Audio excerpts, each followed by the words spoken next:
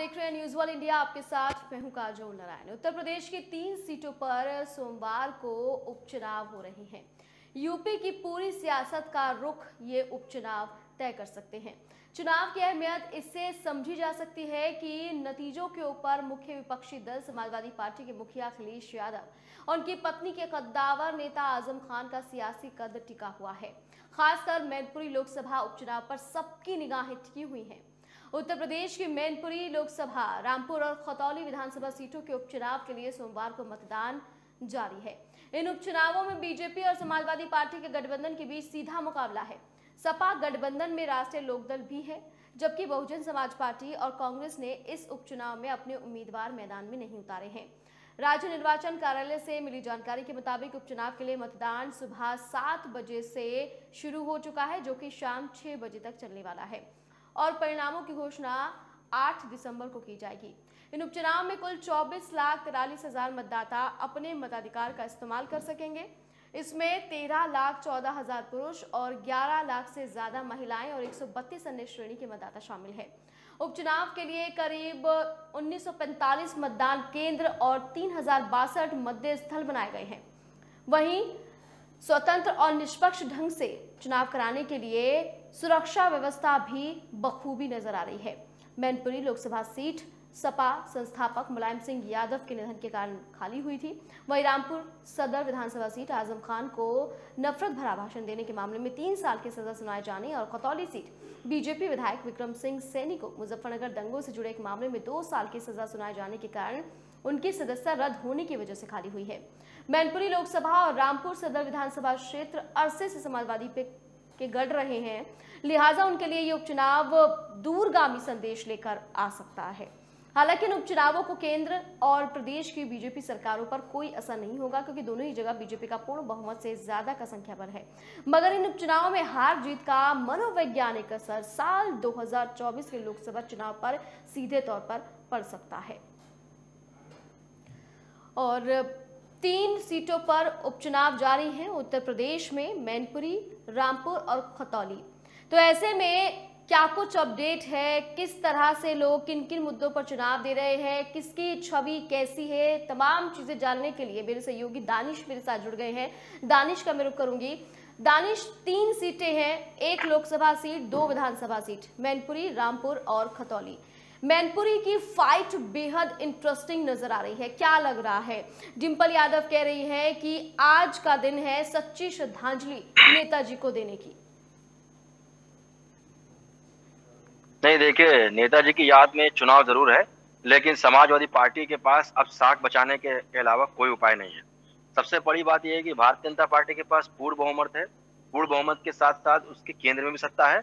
और इधर यूपी में इन समाजवादी पार्टी के जब अगर मैनपुरी सीट समाजवादी पार्टी के खाते में अगर आ जाती है तो ये मान लीजिए कि समाजवादी पार्टी के साथ विपक्ष को एक नई उम्मीद मिलेगी और भारतीय जनता पार्टी को भी एक खतरा महसूस होगा आने वाले विधानसभा चुनाव और लोकसभा चुनाव के मद्देनजर हम्म। अब बात अगर की जाए रामपुर की तो रामपुर में भी कहीं ना कहीं समाजवादी पार्टी का गढ़ माना गया है जैसे कि अभी वीडियोस में दिखाया जा रहा था कि समाजवादी पार्टी ने लगातार इस पे आरोप लगा दिए हैं। चुनाव आयोग से लगातार वो शिकायतें कर रहे हैं। कल भी समाजवादी पार्टी का डेलीगेशन निर्वाचन आयोग से मिला था कि ईमानदारी से निष्पक्ष से चुनाव नहीं हो रहे हैं। वोट डालने नहीं दिया जा रहा। हम्म। सीओ साहब का एक वीडियो वायरल हुआ जिसमें दिखाया जा रहा है कि पहचान पत्र पर वोट डालने के लिए कहा गया है। हम्म। आधार कार्ड पे नहीं किया जाएगा।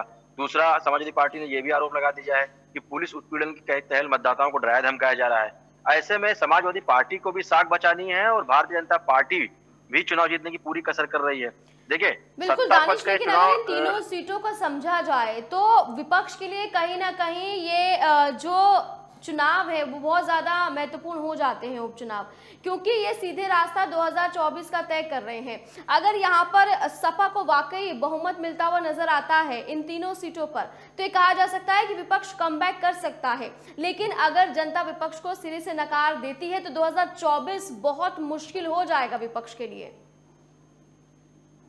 नहीं देखिए तीन सीटें हैं और तीन सीटों पे जो सबसे बड़ी जो इफ़ेक्ट वाली बात है हम्म। वो है कि तीनों सीटें समाजवादी पार्टी के गढ़ की हैं हम्म। तो चैलेंज समाजवादी पार्टी के लिए ज़्यादा है ना कि भाजपा के लिए भाजपा को उनके गढ़ में सेंध लगा करके उन सीटों को अपने पाले में ला करके विजय रथ हासिल करना है समाजवादी पार्टी को अपना गढ़ बचाना है दोनों के पास अपने अपने टास्क हैं और इन टास्कों में जो आरोप प्रत्यारोप का सिलसिला चला है ये शाम पाँच बजे तक चलेगा हो सकता है उसके दूसरे दिन भी चले निर्वाचन आयोग के पास चैलेंज है उसको निष्पक्ष चुनाव कराना है हम्म।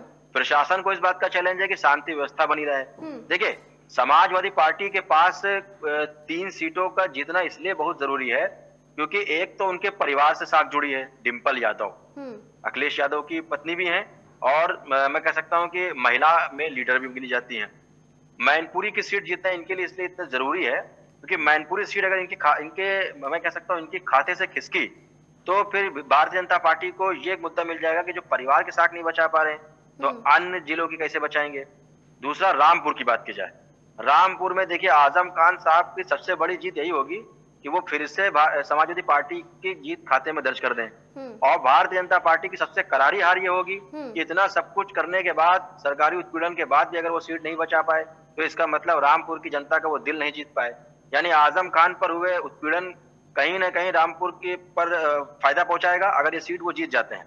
और अगर ये सीट वो हार जाते हैं तो भाजपा के लिए ये फ़ायदा होगा कि कहीं ना कहीं सरकारी सिकंजे से उनको फ़ायदा मिला और भाजपा को सात बजे से मतदान शुरू हो चुका है शाम के छह बजे तक होना है। क्या लग रहा है? कितना जनता इंटरेस्ट दिखा रही है? क्योंकि जैसा कि आपने अभी बताया कि तीनों ही अगर सीटों की हम बात करें तो कहीं ना कहीं सपा का गढ़ रहे हैं और मैनपुरी और रामपुर तो खासकर। तो ऐसे में अपनी साख बचाने की पुरजोर कोशिश तो यहाँ पर की है समाजवादी पार्टी ने।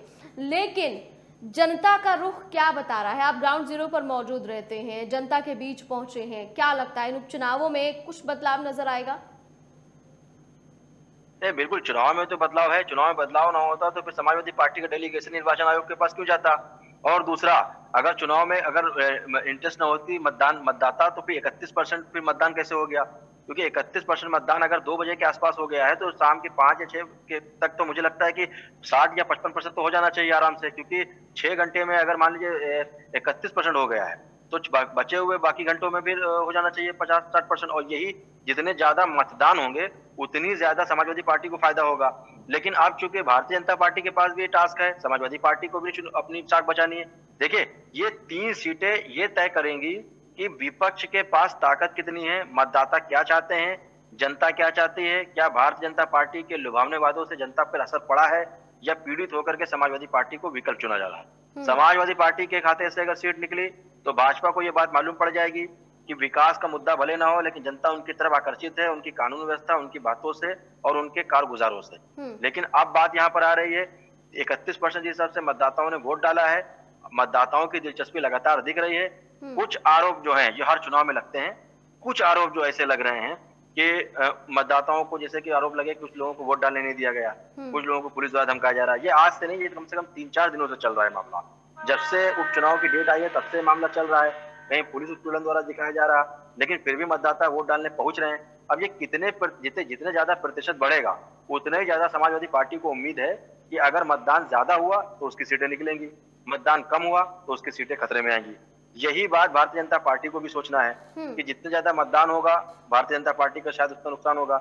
लेकिन ये देखने वाली बात यह है कि जो तीनों प्रत्याशी हैं क्या वो प्रत्याशी उस ज़िले की उस जनपद की जनता को भाग गए हैं या समाजवादी पार्टी पर साइकिल पर उन्होंने भरोसा जताया है और साइकिल निकल पड़ी ये भी देखना होगा कि कमल खिल जाता है या फिर मुरझा जाता है। और इस चुनाव में यह भी तय होगा कि साइकिल फिर से नई उम्मीद लेकर के उम्मीदों की साइकिल जैसे कि उनका नारा भी रहता है उम्मीदों की साइकिल फिर से सवरती है या फिर उन्हीं के गढ़ में पंक्चर हो जाता है। दानिश रामपुर की हम बात करें तो रामपुर में जिस तरह से आज़म खान को जेल जाना पड़ा और तमाम आरोप उन पर लगे हैं उनकी छवि भी कहीं ना कहीं धूमिल हुई है। ये ज़रूर कहा जा सकता है, जिस तरह से उन्होंने जेल में तीन साल बिताए। उसके बाद अब रामपुर में आज उपचुनाव हो रहा है। तो वहाँ मुस्लिम बाहुल्य क्षेत्र है यह हर कोई जानता है। क्या लग रहा है कि कितना असर जो आज़म खान की छवि है, वो डाल पाई है इन उपचुनाव में?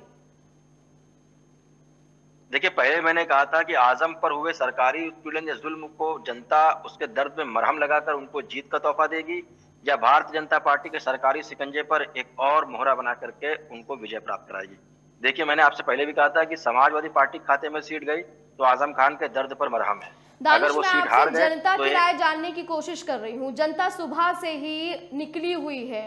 और देखिए अगर बात की गाँव देहात की तो वहाँ पर ठंड सुबह से है लेकिन उसके बावजूद भी हमने देखा है कि सुबह से ही अच्छा खासा वोटिंग परसेंट और जो भीड़ है, वो दिखाई दे रही थी पोलिंग बूथों पर। तो ये बताइए कि जनता के मन में क्या कुछ चल रहा है? क्या यहाँ पर वापसी की तैयारी समाजवादी पार्टी की हो रही है, या फिर योगी राज पर भरोसा फिर से जताने की तैयारी जनता ने कर ली है? क्या चल रहा है उनके मन में? प्रत्याशी पसंद कर रहे हैं या फिर सिर्फ़ पार्टी पर वोट जा रहा है? नहीं देखिए मैंने आपसे पहले भी ये बात बात बताई थी कि देखिए दो कंडीशनों में ये काम होगा और सबसे बड़ी चीज़ तो ये है जिस हिसाब से काम चल जैसे उत्तर प्रदेश की अगर बात की जाए तो उत्तर प्रदेश के मैनपुरी चुनाव बहुत ही अहम है रामपुर चुनाव बहुत ही अहम है और अब चूँकि बात जनता या मतदाता की की जा रही है हम्म। तो मतदाता में ये बात सामने आ रही है कि मतदाता जितने ज़्यादा प्रतिशत बढ़ेंगे उससे तो ये पता चलेगा कि उनका इंटरेस्ट समाजवादी पार्टी पे ज़्यादा है समाज और अगर मतदाता नहीं निकल पा रहे क्योंकि वहाँ पर देखिए जो मैनपुरी गढ़ है या रामपुर की बात की जाए मुस्लिम मतदाता ज़्यादा है। और मुस्लिमों की लुभावने मुस्लिम अगर निकल रहे हैं मतदान कर रहे हैं हम्म। तो चांसेस समाजवादी पार्टी के हैं। लेकिन एक तबका जो ये बात बताई जा रही है कुछ जानकारी ये भी मिल के आ रही थी कि कुछ महिलाएँ हैं जो एसएसपी एसपी आवास पर धरना दे रही हैं हम्म। आज़म खान के खिलाफ। तो वो मुस्लिम महिलाएँ फिर कौन थी? अगर समाजवादी पार्टी से मुस्लिम लोग नाराज़ नहीं है। और सबसे बड़ी इंपॉर्टेंट बात आ रही है पसमानदा यानी पिछड़ा मुसलमान। हम्म। वो ये तय करेगा कि आज़म खान को वोट देना है हम्म। या आसिम रजा को जिताना है उनके हम्म। प्रत्याशी को या भारतीय जनता पार्टी को जाना है। एक तरफ़ भारतीय जनता पार्टी के पास जो पिछड़ा समाज का जो सम्मेलन है पसमानदा का वो लुभाने का पूरा प्रयास जैसे कि भारतीय जनता पार्टी कर रही हर प्रोग्राम में हर चुनाव में पसमानदा को लुभाने वाले जैसे कि दानिश आज़ाद अंसारी को रामपुर में क्या नज़र आता है पसमानदा मुस्लिम को लेकर रामपुर में क्या नज़र आ रहा है? देखिए रामपुर में ये तय हो रहा है कि जो कुछ आज़म खान के पुराने समर्थक हैं वो आज़म हम्म। खान के सपोर्ट में रहेंगे ठीक है और जो महिलाएँ कौन सी थी जिन्होंने धरना दिया और पिछले पसमानदा समाज ही तय करेगा कि आज़म खान को वोट देना है कि नहीं देना की कुछ नाराज़ भी चल रहे थे हम्म। दो कंडीशनों में समाजवादी पार्टी की सीट इसमें फंसेगी लेकिन मैनपुरी से सीट मुझे लगता है कि समाजवादी पार्टी के खाते में आ जाएगी हम्म। रही बात जो दूसरी जनपद की है देखिए रामपुर में अगर आज़म खान की सीट निकल गई तो इतना तय हो जाएगा कि आज़म खान से कहीं ना कहीं लोग अभी तक तो इतिहास गवाह है कि आज़म खान की अब तक सीट में कहीं ना कहीं सेन नहीं लग पाया है, लेकिन अब चूँकि ये बात दर्द पे मरहम के साथ तय होगी कि आज़म खान साहब को वहाँ की जनता उनके जुल्म पर जो उनके उनके हिसाब से जो जुल्म उत्पीड़न हुआ, उन पर दर्द पे मरहम देती है। या हम्म। फिर सीधे सीधे जख्म पे जख्म पे नमक छिड़क कर भारतीय जनता पार्टी हम्म। को सत्ता सौंप देते चलिए ठीक है दानिशी तो रामपुर की बात हो गई। अगर हम मैनपुरी की बात करें तो मैनपुरी में क्या परिवार अपनी साख बचा पाएगा? क्योंकि सीट के लिए चाचा भतीजा एक हुए हैं और साथ ही साथ छोटे नेताजी कहकर पुकार रहे हैं जन संबोधन कर रहे हैं। तो ये बताने की कोशिश करिए कि क्या वाकई परिवार साख बचा पाएगा? मैनपुरी में देखिए मुस्लिम जाट यादव। ती त्रिकोणीय समीकरण पर ही सीट तय होती है। मैनपुरी हमेशा से समाजवादी पार्टी का गढ़ रहा है क्योंकि नेताजी के बाद अब ये सीट खाली है। अब यहाँ पर एक चीज़ तो ये समझ लीजिए कि मैनपुरी से डिम्पल यादव का जीतना उतना ही ज़रूरी है जितना अंधेरे में दिया के जलना। अगर ये सीट खत्म हुई तो समझ लीजिए कि दिया बुझ जाएगा और हम्म। भारतीय जनता पार्टी को एक नया एजेंडा फिर मिल जाएगा। क्योंकि मैनपुरी में इन तीनों को देखना है और मुझे लगता है कि जो तीनों वोट का समीकरण है यादव जाट मुस्लिम। ये तीनों मुझे लगता है कि समाजवादी पार्टी के से लुभावित हैं, समाजवादी पार्टी के खाते में जाएँगी। इसीलिए अखिलेश यादव ने मैनपुरी चुना है और मैनपुरी में उन्होंने सीधे महिला सीट यानी डिम्पल यादव को खड़ा किया है। डिम्पल यादव का जीतना इसलिए ज़्यादा प्रभावी माना जा रहा है क्योंकि वो एक महिला भी है और मैनपुरी की जनता इसलिए उनको जिताने का प्रयास करेगी क्योंकि खुद अखिलेश यादव पूर्व मुख्यमंत्री के परिवार से हैं।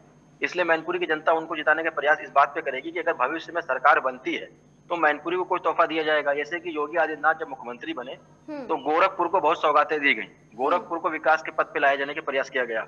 इसी तरीके से वहाँ की जनता इस चीज़ को देखने का प्रयास करेगी कि जो सूबे के आने वाले मुख्यमंत्री होंगे अगर कभी सत्ता उनकी आती है तो उन्हीं के परिवार का अगर कोई सदस्य कोई जीतता है तो मैनपुरी का विकास होगा और मैनपुरी उनके घर से निकलेगा मुख्यमंत्री या परिवार।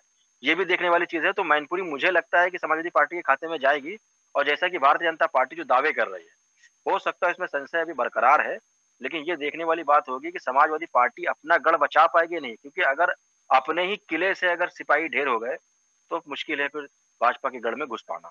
जी। और इसके अलावा जो मतदान हुआ है, कितने प्रतिशत अब तक हो चुका है? चाहे वो मैनपुरी हो, चाहे वो रामपुर हो, चाहे वो खतौली हो, क्योंकि खतौली में बहुत अहम हो जाता है। जिस तरह से मुजफ्फरनगर दंगे हुए, उसके बाद से जब वो आरोपी बनाए गए, जो यहाँ से विधायक थे तो उसके बाद अब ये सीट खाली हुई है तो क्या लगता है उसका असर दिखाई देगा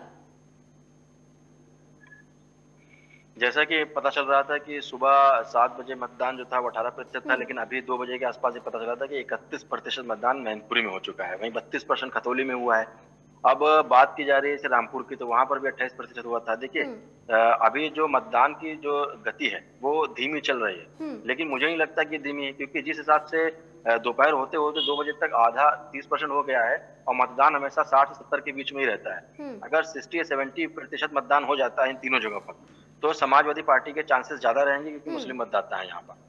और अगर यहाँ पर फिफ्टी से भी कम हो जाता है यानी फिफ्टी के आसपास रह जाता है तो चांसेस भारतीय जनता पार्टी के रहेंगे।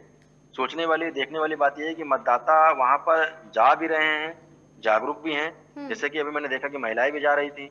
बुज़ुर्ग भी जा रहे थे तो मतदाता वहाँ पहुँच रहे हैं उपचुनाव में हालाँकि इतना कोई गंभीर नहीं होता है लेकिन उपचुनाव में मुझे लगता है जागरूकता मतदाताओं की हम्म। दिख रही है उस हिसाब से तो मुझे लग रहा है ये 50 से 60 के आसपास पहुंचेगा और 60 के आसपास पहुंचेगा तो समाजवादी तो पार्टी समाजवादी पार्टी के चांसेस ज़्यादा नज़र आते हैं यानी कि फिर लोकसभा चुनाव जो 2024 में होंगे उसमें भी विपक्ष की अहम जो भूमिका है वो बिल्कुल नज़र आएगी, धरातल पर नज़र आ सकती है। दानिश, बहुत शुक्रिया तमाम जानकारी पहुँचाने के लिए। आप नज़र बना के रखेगा पल पल की अपडेट लगातार आपसे लेते रहेंगे। तो मैनपुरी लोकसभा उपचुनाव में मुलायम सिंह यादव की बड़ी बहू और सपा मुखिया अखिलेश यादव की पत्नी डिम्पल यादव मैदान में है। वहीं बीजेपी की तरफ़ से रघुराज सिंह शाक्य चुनाव लड़ रहे हैं। शाक्य कभी प्रगतिशील, समाजवादी पार्टी लोहिया के मुखिया और सपा अध्यक्ष अखिलेश यादव के चाचा शिवपाल सिंह यादव के करीबी सहयोगी रहे थे। लेकिन अब प्रतिद्वंदी बन चुके हैं। इसके अलावा रामपुर और खतौली में भी सुबह से मतदान हो रहा है।